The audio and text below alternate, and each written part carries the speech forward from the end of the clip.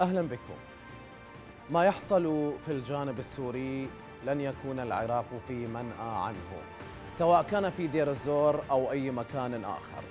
تصعيد جديد وخطير بين قوات العشائر العربية وقوات قسد الديمقراطية. وما بين الاثنين نزاعات وثارات تمتد لسنوات ولا تنتهي عند معادلة السيطرة على الأرض. فما هو الوضع حاليا في الحدود؟ استنفار أمني لمنع توسع الصراع على أراضينا أو هجرة بعض الأفراد من أحد الأطراف. فما ينطلق من تلك الأراضي يكون له امتداد إقليمي ودولي تارة بحسب معادلة الأرض وأخرى بحسب معادلة الدعم. فما هي الرغبة حاليا تحجيم أدوار أم ضغط على بعض الجهات؟ وفي الحالتين صراع لن ينتهي دون أن يترك أثره في كل مكان. فما هي الأسباب أو الأهداف؟ هذا ما ستكشفه النتائج عاجلا أم آجلا. والأهم من ذلك ألا يمتد الخطر لما لا يحمد عقباه وتعاد سيناريوهات طويناها منذ عقد من الزمن. أهلا بكم.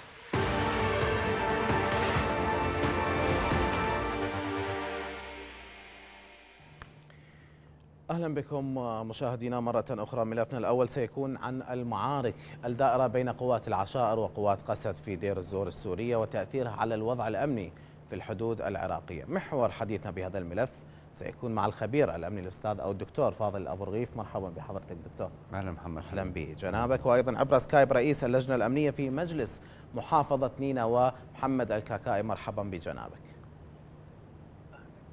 أهلا بحضرتك. دكتور فاضل أبدأ مع حضرتك شنو اللي جاي يدور حاليا بدير الزور من اشتباكات ما بين قوات العشار وقوات سوريا الديمقراطية قسد وليش بهذا التوقيت تحديدا؟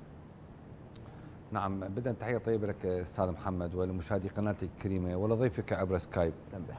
يعني محمد قسد كان لها دور سابق وحاضر في مكافحة وفي محاربة الإرهاب. قسد سبق لها أن تعاونت مع الأجهزة الأمنية العراقية إبان 2015 وما تلاها.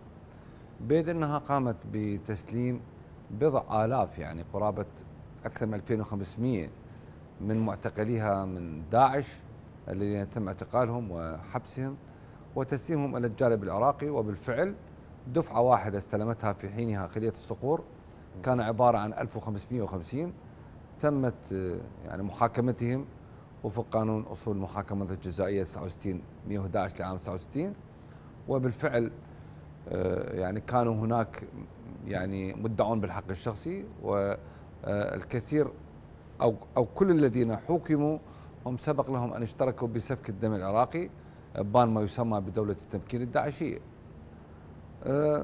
داع قسد لديها مشكلتان. نعم. المشكلة الأولى أنها لا تملك هيئة قضائية. وهذا عقد المشهد عليها. والمشكلة الأخرى وهي تكاد تكون أكبر من المشكلة الأولى هي أنهم لا يملكون سجونا كافية تتسع لعديد هؤلاء.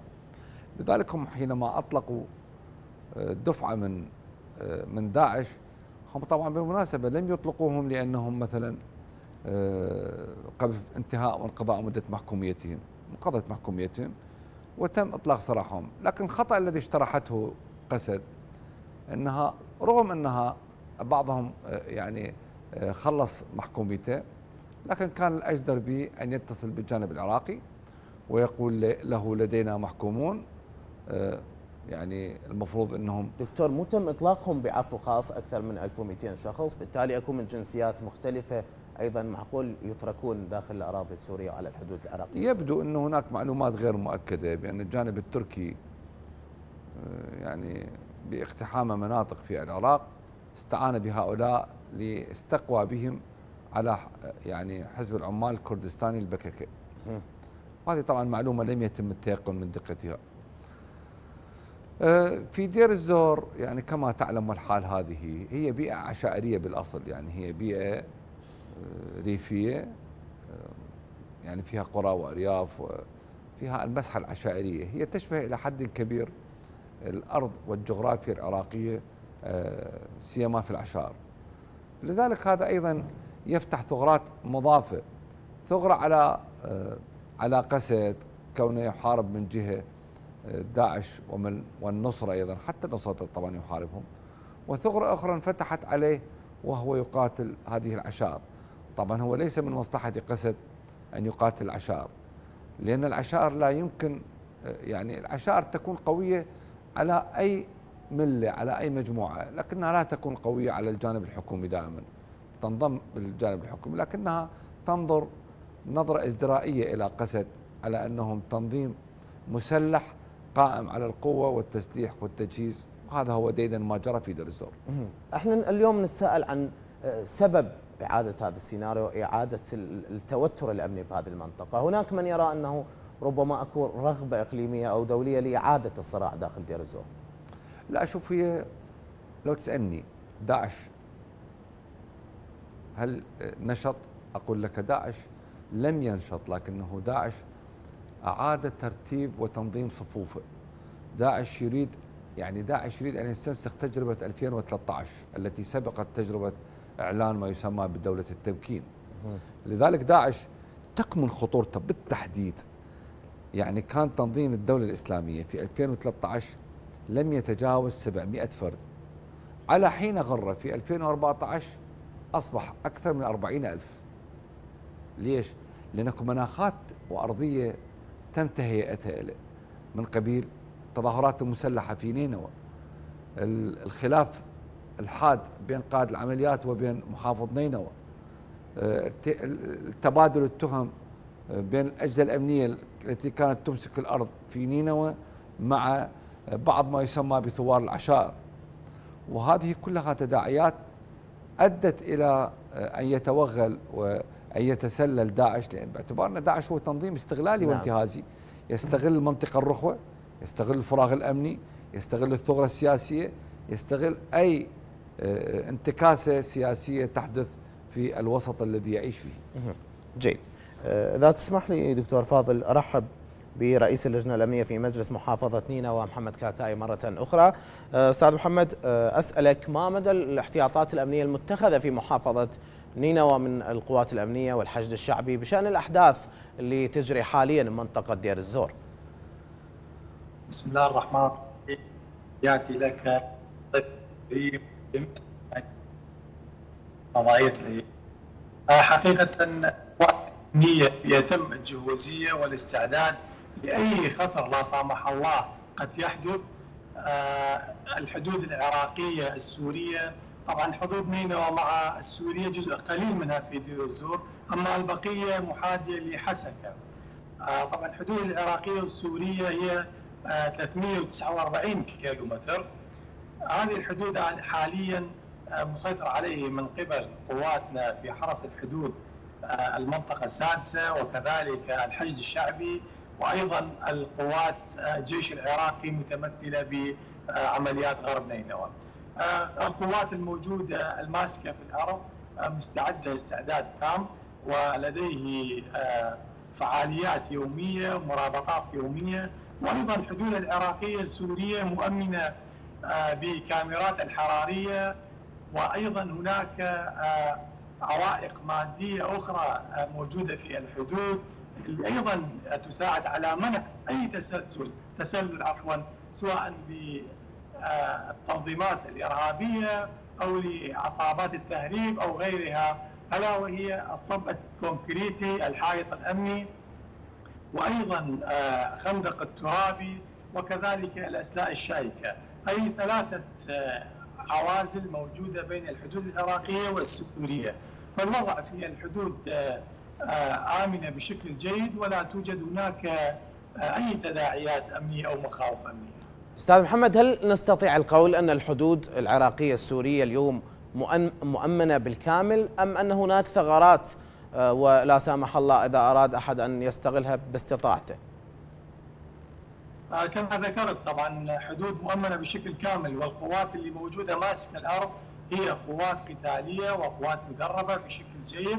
آه، طبعا هناك مخاوف يعني في بين حين وآخر في في الوسط خاصة الإعلامي اللي الفترة الأخيرة صارت شوية التهويل الإعلامي نعم. على السوشيال ميديا وغيرها ولكن اليوم أحب أذكر وايد كلام ضيفك الكريم بخصوص الأوضاع اليوم نحن نعيش في عام 2024 يختلف عن 2014 حيث الحدود كانت فيه فجوات ويعني فراغات أمنية كثيرة وكانت هناك مشاكل سياسية أيضا موجودة في مدينة الموصل. ولا اخفي عليك الحدود كانت يعني آه، لا تسيطر عليها القوات الأمنية بشكل كامل وغير موزعة بشكل يعني آه، بإمكان السيطرة على الحدود.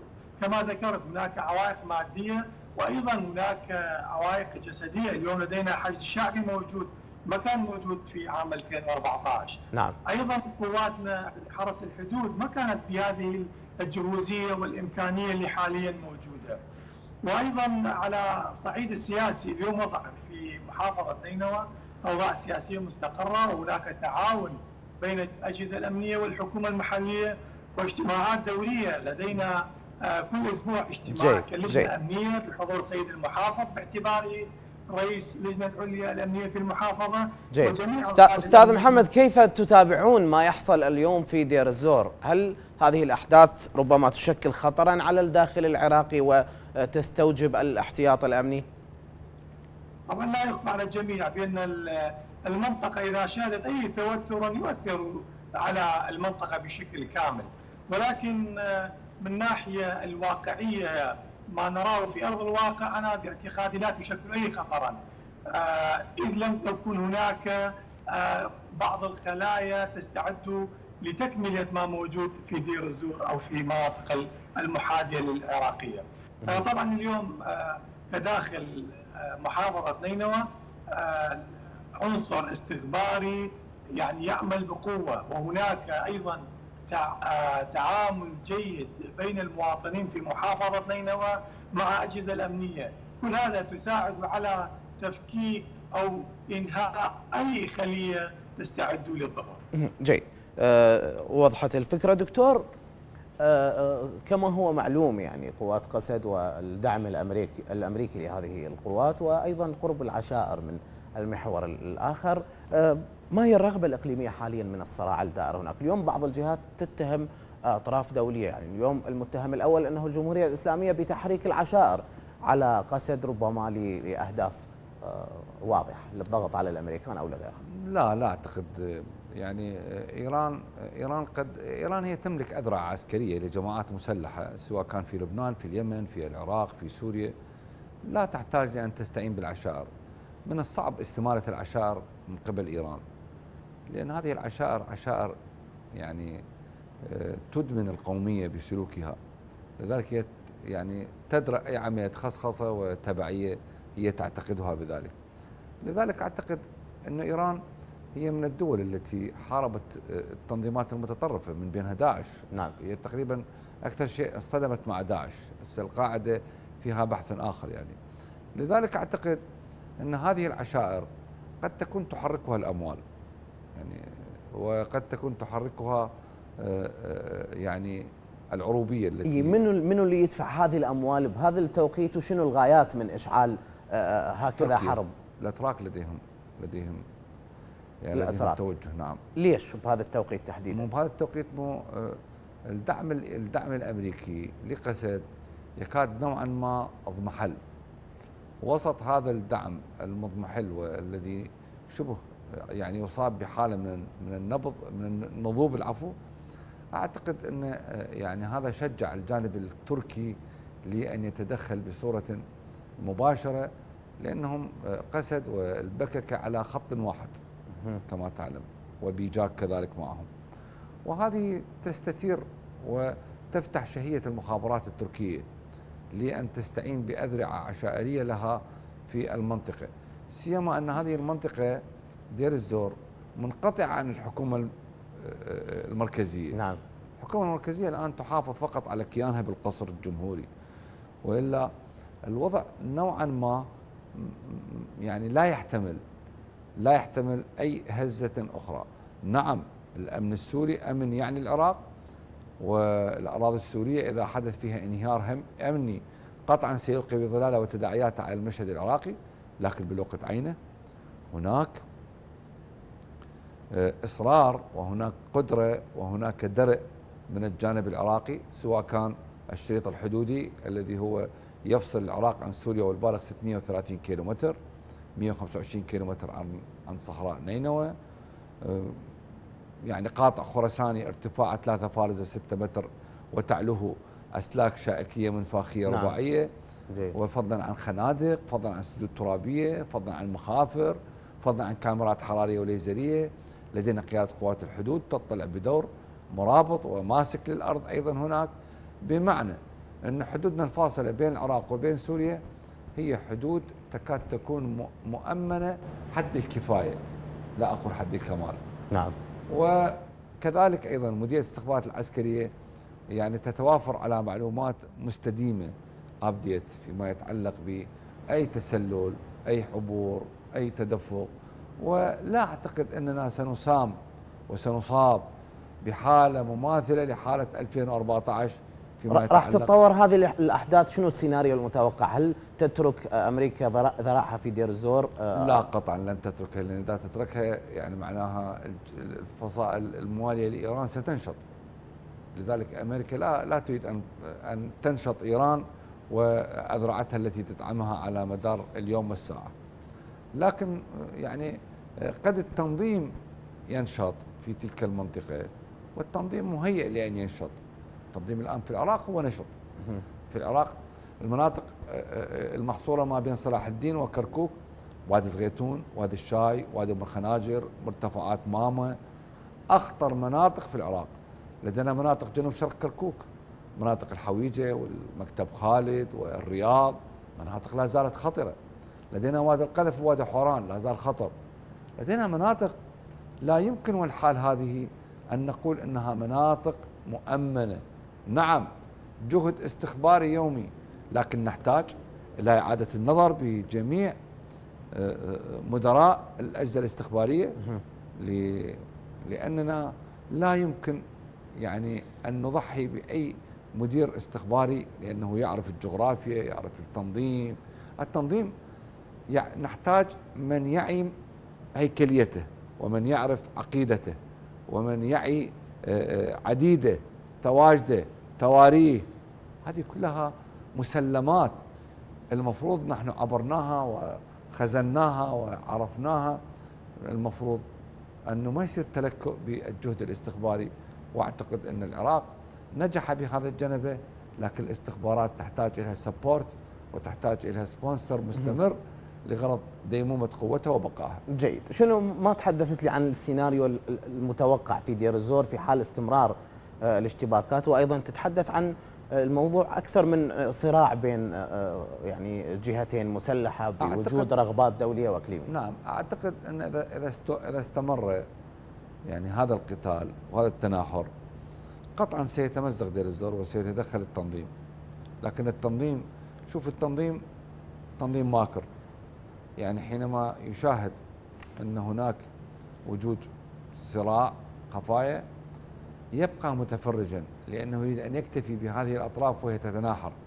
لذلك هو سينتظر متربصا وراصدا هذه يعني هذه المقاتل وهذه المناكفات والمناجزات بين قسد وبين هذه العشائر وعندها صدقني إذا استمرت هذه المناجزات فيما بين العشائر وقسد قطعا سيحل محلهم داعش وسينزل بطريقة أريحية هل من, وسينتقم. هل من الممكن أن يتم استخدام ال 1200 اللي تم إطلاق سراحهم بعفو عام من قبل نعم. قوات قسد؟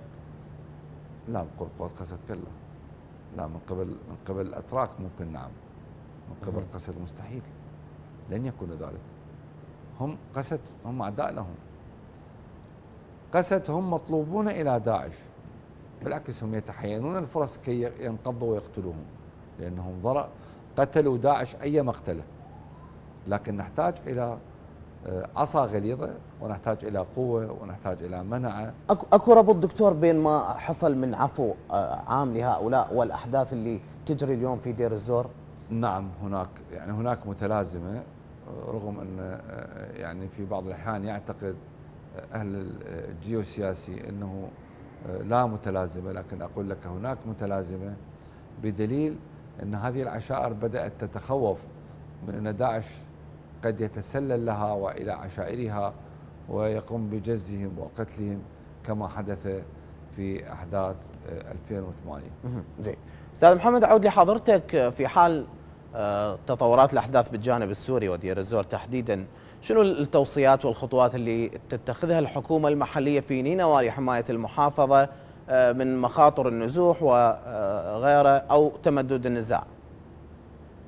بالتأكيد يعني في كل الأحوال المحافظة دائما وفي آه، توجيهاتنا للقطاعات العسكرية بأن يكونوا في الحيطة والحذر ويكون لديهم مرابطات آه، يومية في الليل ونهار وإلى آخره من التحذيرات الموجودة ولكن كما ذكرت بأنه آه الآن حدود العراقيه مؤمنه بشكل كامل وهؤلاء الذين تم إطلاق سراحهم من قبل قصد لا يشكلون أي خطر على حدود العراقية.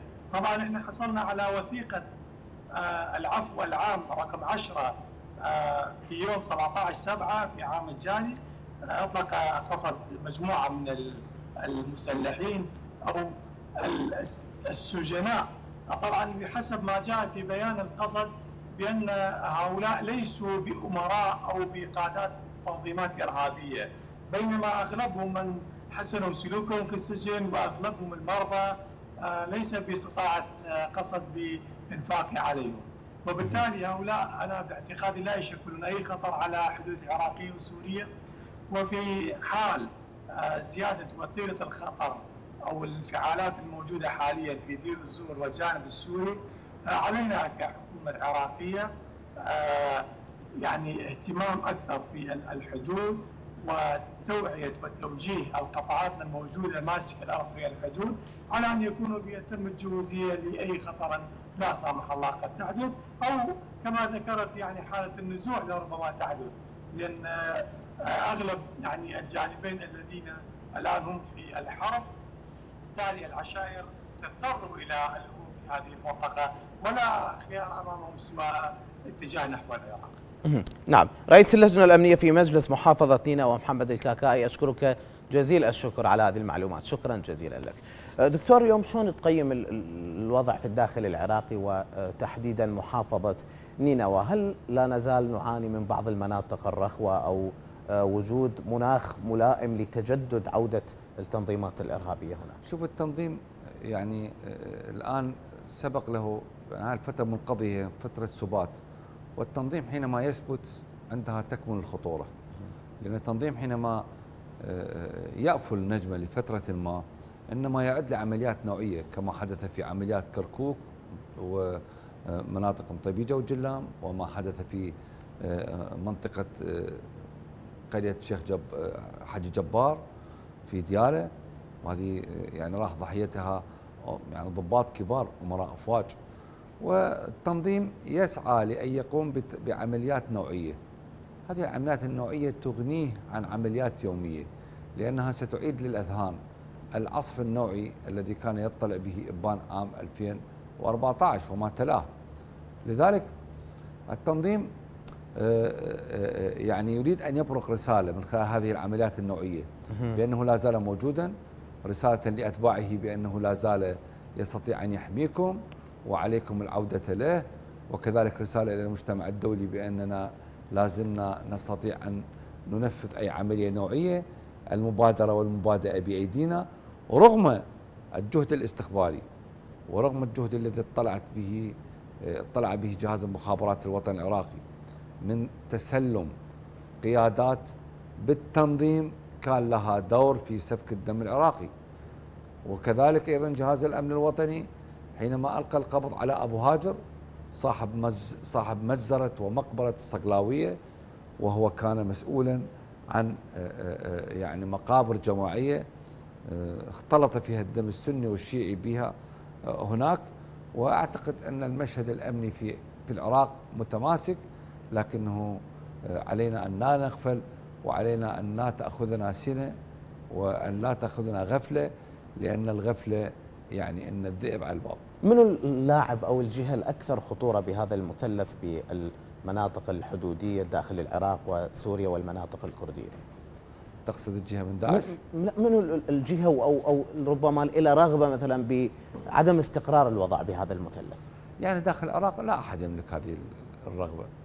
الكتل السياسية نعم تتناكف، تتساجل، تتخاطر لكن لا يرتقي المستوى لأن ترضى وتفرح بوجود داعش. يعني الخلاف لا يمنع الإنصاف. لكن وحتى الدول الإقليمية، اليوم الدول الإقليمية باتت عادت إلى إلى يعني إلى العراق وتريد أن ينهض العراق لكن لا أعتقد أن هناك من يعني باستثناء بعض الدول غير المتاخمة وحتى المتاخمة لمصالح خاصة وفئوية اتجاه تصعيد تمني أن يكون هناك تصعيد من الجانب في الجانب العراقي من قبل داعش. بسؤال أخير وبثواني محدودة يعني هل لا يزال آه، آه، العراق بحاجة إلى وجود قوات التحالف الدولي بالعراق أم أننا آه، نستطيع أن نسيطر بشكل كامل على الوضع الأمني؟ العراق لا يحتاج إلى أي قوات مشاة برية قتالية ميدانية تعبويه. العراق يحتاج إلى تسليح وتجهيز وتطوير وتدريب والدفع باتجاه أخذ المعلومة الصادقة من منهلها للتفاعل معها بصورة عاجلة. نعم. الخبير علمني الدكتور فاضل أبو رغيف أشكرك جزيل الشكر شكرا جزيلا لك. إذا مشاهدينا ختام الملف الأول بأبرز ما جاء في منصة أكس حول المواجهات بين قوات العشائر وقوات قسد في دير الزور. نتابع.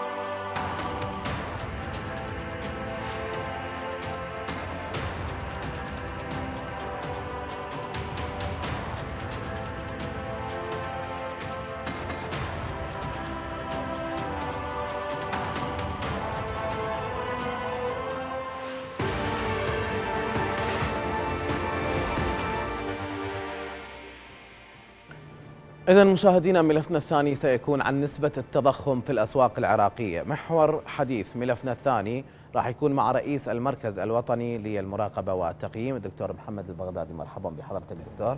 والخبير الاقتصادي الدكتور ضياء المحسن مرحبا بحضرتك الله مساك أهلا بجنابك. دكتور محمد أبدأ مع حضرتك. ما هي نسبة التضخم حاليا بالأسواق العراقية؟ وأسألك عن مدى مساهمة سياسات الحكومة و إدارة البنك المركزي وسياساتها المتبعة للسيطرة على هذا الموضوع. نعم التضخم إذا نجي عليه مثلا آه، على مدار السنتين اللي فاتت لحد اليوم آه، هناك أسباب عديدة آه، ساهمت في رفع نسبة أو أسعار المواد الغذائية مثلا والمواد الاستهلاكية وإلى آخره من نعم. الأسواق. واحدة من الأسباب مثلا اللي خلال السنتين اللي فاتت مثلا ارتفاع الكبير بالمصادر الوقود بالعالم.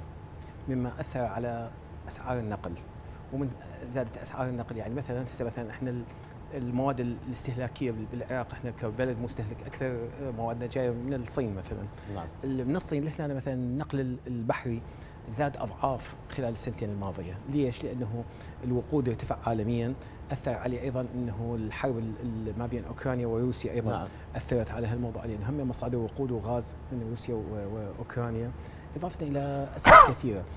مثلا هذه الحرب مثلا أثرت على آه، أسعار الحبوب الغذائية والعلفية عالميا لأنه روسيا وأوكرانيا هي من من منتجين الحبوب الغذائية والعلفية بالزي. بالعالم كليتها أيضا أثرت على أسعار الزيوت النباتية الغذائية ف يعني هالكركبه هاي تاثر تأثير كبير. إضافة إلى هالسنة اللي فاتت مثلا صارت موضوع آه، البنك المركزي والقيود اللي صارت على موضوع التحويلات المصرفية إضافة إلى أنه القيود اللي فرضتها آه، البنك الفدرالي الأمريكي على الحوالات عالميا آه، وفرضتها على العراق أيضا. فهي كلها أسباب يعني لا نقول أنه أكو سبب معين هو اللي أثر. مجموعة أسباب كثيرة جمعت سببت التضخم في الجسم. هو ما مدى نسبة هذا التضخم اليوم بالأسواق العراقية؟ ما يقاس بنسبة معينة. آه، طبعا المتضرر الأول والأخير هو المستهلك أولا لأنه التاجر كل دينار يصرفه سواء نقل أو جمارك أو أو أي عمولات أو أي مصاريف أو أي رسوم جمركية ضرائب نقل حمالة شيء كل شيء هذا يتحملها البضاعة. وبالتالي المستهلك الضحيه الأخيرة خلينا نقول جيد دكتور ضياء الأسواق العراقية هل تشهد استقرار بمؤشر التضخم آه، والاسعار أم العكس؟ شنو قراءتك للأسواق العراقية اليوم والشارع العراقي؟ بسم الله الرحمن الرحيم، بداية شكرا جزيلا لكم وتحية لضيفك الكريم. حضرتك. بس آه، بس أعرج على موضوع نسبه التضخم وشنو معنى التضخم؟ التضخم هو فقط إنه العملة المحلية تفقد قيمتها قبال قبال العملات الأخرى. نعم. وهذا ليش؟ وأنت لازم تعرف السبب. ليه ليش العملة العملة المحلية تفقد قيمتها؟ تعرفون إنه أنتم هذا يعود في سبب عنده سبب رئيسي هو إنه أنت كل كل احتياجاتك كل السلع والخدمات أنت راح تستوردها من خارج العراق. خارج البلد. فبالتالي يعني معناها شنو؟ معناها أن القطاعات القطاعات الاقتصادية الحقيقية اللي هي يجب أن تكون آه، حاضرة بالأسواق يعني من خلال آه، السلع والخدمات. يعني مثلا القطاع الزراعي يفترض به ان يكون كل المحاصيل الزراعية يكون هو هو يوردها للسوق المحلية نعم. حتى يغطي حاجة الحاجة المحلية. هنا عندما تكون احتياجاتك كلها متوفرة. ما يكون هناك طلب عليه من العملة الأجنبية. بالتالي اذا اذا إذا لم تكن العملة المحلية أعلى من العملات الأجنبية قد تكون مساوية لها. وهذا هو هذا هذا المشكلة. جنابك تسال سألت عن نسبة التضخم. أعتقد إنه إحنا يعني عندنا مؤشرات إنه نسبة التضخم اليوم آه، ما تقل عن 6% وهذا ليش؟ يعني أنت شوف الآن يعني قد يكون الأستاذ يتحدث عن عن التقييدات البنك المركزي وأعتقد هذا ما له علاقة بالموضوع مطلقا هذا ما له علاقة نعم. بالمطلق بالموضوع ليش؟ يعني قلت لك إنه هذه قطاعات اقتصادية يجب أن تقوم بتوفير السلع والخدمات. المؤشرات السوق مؤشرات التضخم تنبني على أساس شنو؟ على أساس السلع الموجودة بالسوق يعني ارتفاعها وانخفاضها. مثلا المواد الغذائية نجي على على مثلا المواد الكمالية، نجي على الوقود، نجي على الإيجار، على مثلا كل هاي السلع كل هذه مجتمعة تحدد لك مستوى التضخم الموجود سواء بالانخفاض أو بالارتفاع. المشكلة اليوم التاجر آه، يتلاعب بالسعر بدون أي جهة تحاسب أو تراقب أو تحدد. هذا فإذا شلون تقدر تسيطر؟ تمام، الان الآن جنابك تتحدث عن التجارة وليش الأسعار السلع هي هي مرتفعة؟ إذا ما أخذنا بنظر الاعتبار إنه التاجر البنك المركزي يغطي احتياجاته من من العملة الأجنبية. بمعنى معناه أنا اليوم من أشوف تاجر مثلا يستورد ب 10 مليون دولار البنك المركزي يبيع له بسعر لأنه أنت تعرفون عندنا تحويل عندنا تعزيز التحويلات الخارجية يأمنها يغطيها البنك المركزي ب 1310 1320 بحسب. نعم. هذه طبعا مختلفة الأسعار. صح هي بالموازنة 320 لكنه هذه باختلافات. قد تكون قد تكون مثلا ب 1310 مو شرط. لكن لكن غياب الرقابة وهذا أيضا وين السبب من عنده؟ هذا يعود سبب من عنده إلى غرفه غرفة التجارة الغرفة اتحاد الغرف التجارية. هذا أيضا لأنه يجب أن يكون يتابع التجار. لكن تعرفون أنه هناك بعض يعني بعض التخادم بين بين بين هاي الأطراف بحيث أنه آه، يعني هاد الحبل على الغارب. دكتور أنا أنا أسألك شنو شنو الفائده اليوم الحكومة جاي تنطي الدولار ب 1320 بسعر الصرف الرسمي للتاجر. نعم. تاجر يروح يستورد يجي يبيع بضاعته بسعر السوق السوداء براحته بالسوق. آه. شوف هذا هذا وين؟ مو قلنا قلنا إحنا هذا وين؟ غياب الرقابة. طالما طالما عدم وجود رقابة وعدم أيضا وجود آه، التقييس والسيطره النوعيه لأنه أنت انت أنت شنو؟ أنت من تدخل بضاعة. هذه البضاعة يجب أن تكون مطابقة للمواصفة العراقية. نعم. واحد اثنين لا, لا يجب أن تكون هناك آه، جهات رقابية تراقب التاجر فيما يتعلق ببيع السلعة فيما ما يتعلق سواء باحتكاره للسلعة يعني عدم التقيد بكل الأمور خاصة فيما يتعلق بصحة المواطن. يعني إحنا تعرفون أكو سلع آه، آه، يتم توريدها للسوق العراقية آه، ممكن تضر المواطن وخاصة بالسلع الغذائية. أنا نعم. أقصد السلع الغذائية. زي. ليش؟ أكو بعض أكو بعض الأجواء المعلبات من الممكن أن يستخدمون مواد يعني مواد حافظة. هذه المواد الحافظة يعني فقط تستخدم لتحنيط الموتى. فقط تستخدم. هذا ليش يستخدمونه؟ يستخدمونه لطالة عمر عمر, عمر هاي هاي السلعة هاي, هاي وهذا حدث بالاجبان وأنت لو يعني تج... داخل الأجبان يخلون هذه أي نعم. خل أقول لك خل وهذا حالة هاي حالة مرضية آه أنا حددتها أعتقد بعام 2019 تحدثت عنه في في مقال في مقال نشر في في أحد الصحف المحلية المحلية عفوا. قلت هذا وهذا يصيب الأطفال دون ال 15 سنة. يصيبهم يصيبهم شلون شلون تدخل هذه الاسباب يصيبهم بس بجنابك. يصيبهم بمرض السرطان في في في منطقة ما موجودة باي يعني حتى الكبار ما يصيبهم. فقط ما دون ال 15 سنة يصيبهم. شلون يدخل؟ لأن هذا يروح يروح للبلد الفلاني يقول له أنا أريد أريد مثلا هذه السلعة أريدها آه، تكون تطول يعني الفترة النفاذية مو شهر. وتعرفون إن يعني هذه مواد حافظة؟ إي ما هذه مادة حافظة تستخدم فقط في تحنيط الموتى. أحيانا يعني أكو أشخاص يموتون خارج بلدهم. تعرف هذا فترة فترة طويلة فيحنطونها بهاي المادة. زين. هذه المادة اللي بيها تصيب الأطفال دون ال 15 سنة بالسرطان بالسرطان وهذه حالة مؤشرة يعني حتى عند عند الأطباء زين هذه هذه شلون تدخل للعراق؟ وين الفحص؟ هو هنا لأن هنا شنو غابت؟ غابت غابت الحجر الحجر الصحي، غابت الرقابة والتقييس والسيطره النوعية، آه، غاب أيضا الفحص المخبري اللي اللي بالحدود سواء الحدود البحرية أو الحدود البرية فتاحت علينا. دكتور أرجع لك بعض المواضيع. اولا أي بضاعة اليوم بدها تستورد مهما كانت سواء كانت أقمشة أو مواد غذائية أو أدوات احتياطية أو أو أو أو. نعم. أكو شيء اسمه سيطرة نوعية.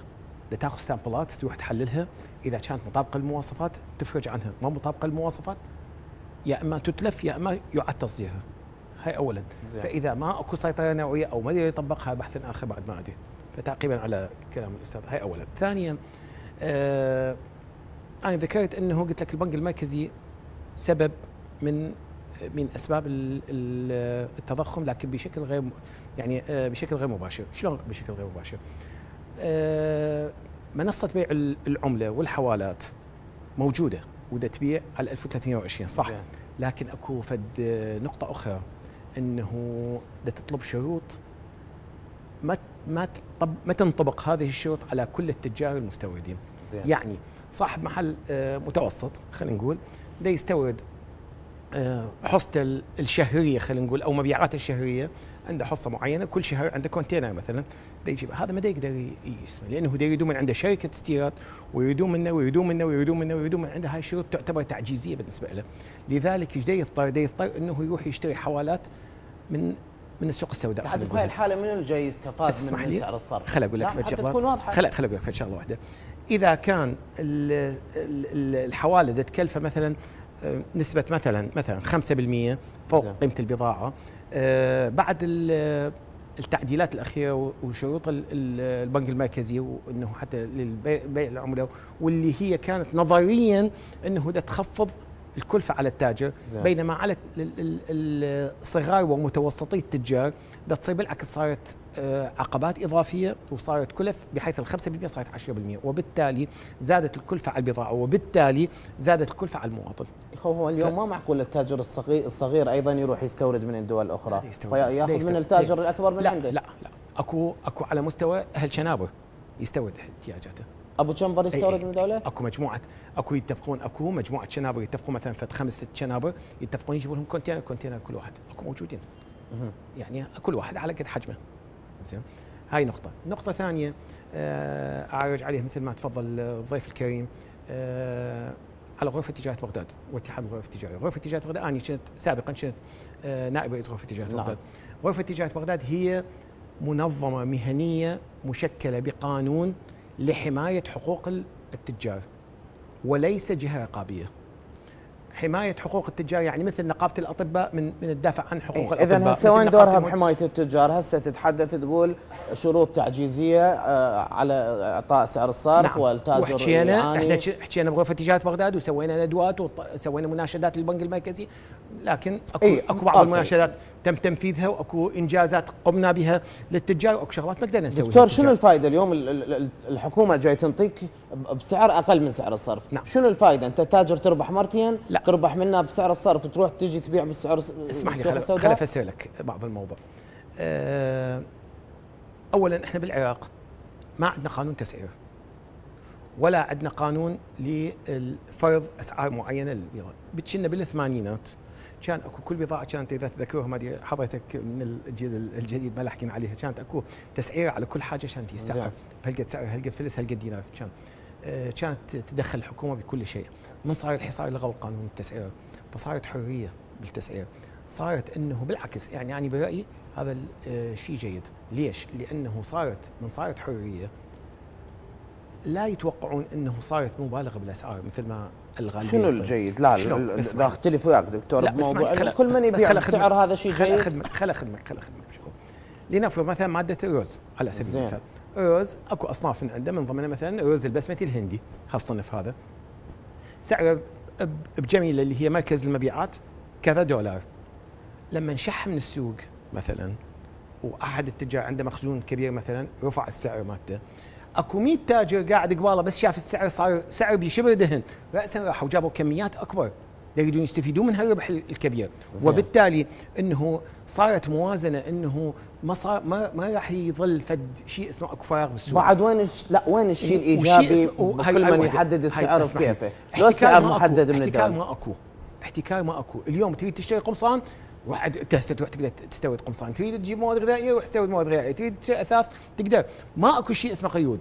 كنا قبل أيام النظام السابق أنت صنفك ملابس ممنوع تجيب أثاث. ماكو قيود بس ما معقول اليوم اني من أجيب الحاجة أربح عليها ضعف وأبيع بكيفي ما يصير ربح لأنه لو بي لو بي نسبة ربح كبيرة لو بيه نسبة ربح كبيرة وبلغة السوق شبه دهن بيه نقول مثلا 100 واحد راح يجي مكانك. فلوس موجودة خير من الله. تجار موجودين هواية. بمكان التاجر اكو أكو آلاف التجار.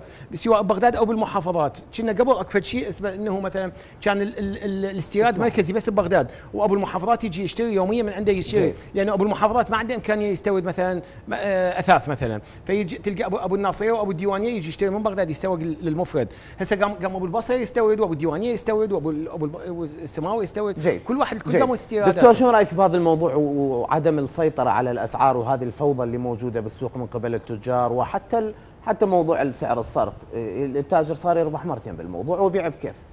يعني بصراحة أنا أستغرب إنه الأستاذ كلامه يعني غير غير غير لأنه غير منطقي حقيقة. أنا ما أريد حتى شنو غير منطقي؟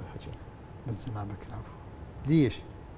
لأنه أنت لما تترك الحبل على الغارب كل واحد يروح يشتغل بكيفه. معناها البلد صار غابة. وهذا هو ما لا يرغب به لا لا ترغب به لا سلطات ولا يرغب به المواطن حتى التاجر ما يرغب به. بالتالي قد يكون هناك مثلا البعض يفكر بهذا الأسلوب. لكنه أنت بهذا يعني يجب ان ان, إنه يراعي يراعي مصالح الآخرين مثل نعم. ما يراعي مصلحته يراعي مصالح أيوه، الآخرين. هذا أبسط يعني هو مثال العلاج بالصيدليات وهذا الموضوع تشوفه تلقى العلاج نفسه هنا ب 10 وهنا ب 40 بالضبط. هذا التفاوت بالاسعار هذا هذا هو هذا التفاوت بالاسعار خليني أقول لك هسه مرة يتحدث الأخ الأستاذ يتحدث عن عن نوع من السلع آه قد يكون أفضل من الآخر أو إنه طالما شح في السوق آه، فيصعد سعره. يعني أنا يعني بصراحة أستغرب هذا هذا الكلام وما أريد حتى بس ممكن تنقل مثلا يعني خلي خلي خلي أكون صريح وياك. يعني أني بالنسبة لي أشوف إنه هذا الموضوع يجب أن لا يترك من قبل السلطات يجب أن تكون هناك رقابة.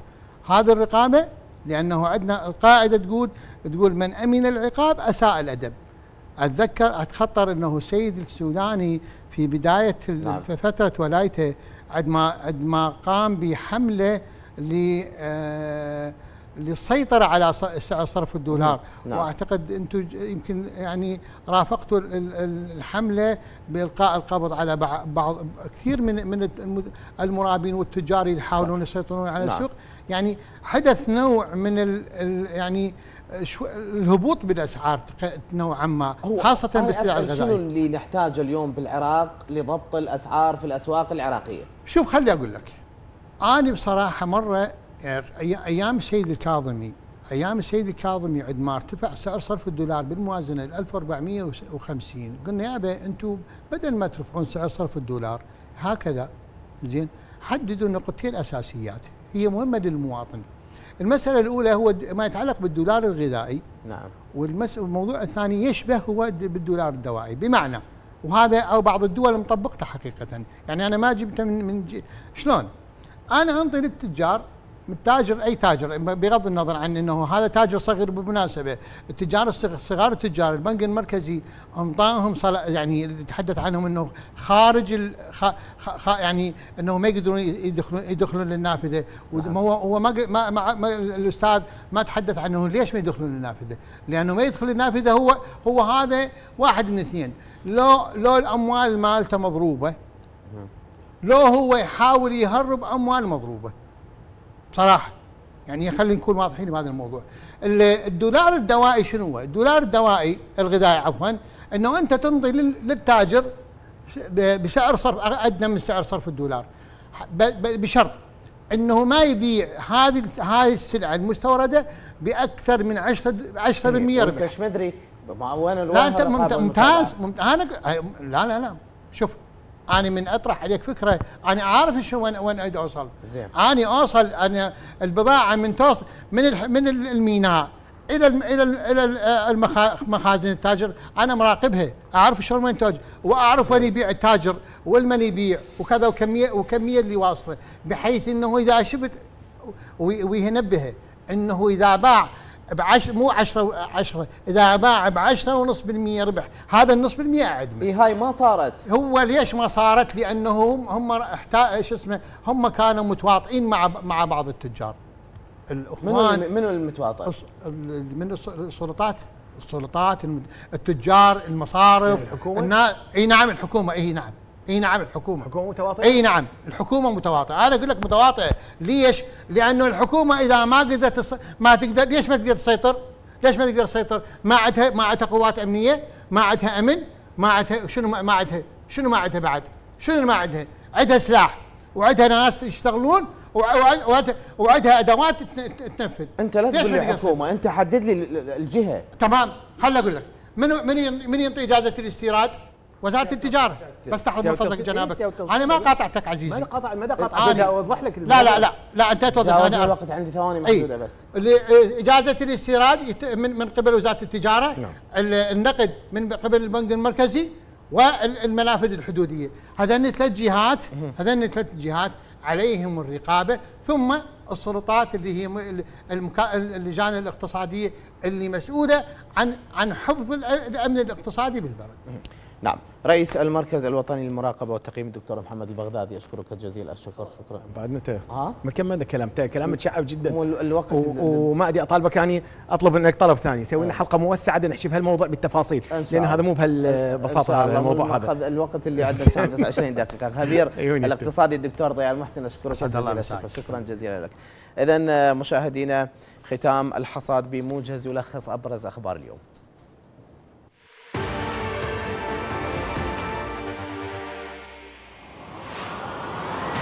العراق يؤكد استعداده لدعم أي جهد يصب بمصلحة تعزيز الأمن والسلم في المنطقة.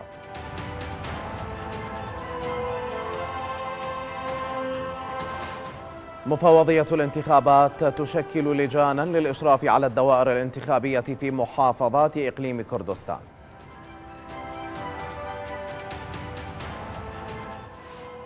هيئة الحج تفتح استمارة التقديم للحج لتعديل المعلومات والتسجيل لمن لا يمتلك البطاقة الموحدة. جهاز الأمن الوطني في البصرة يعلن القبض على شبكة مكونة من عشرة متهمين بينهم خبير بثقب الأنابيب. النزاهة تعلن ضبط أربعة من موظفي مديرية التسجيل العقاري في صلاح الدين بتهمة التلاعب بمحاضر قطاع أراضي الشهداء.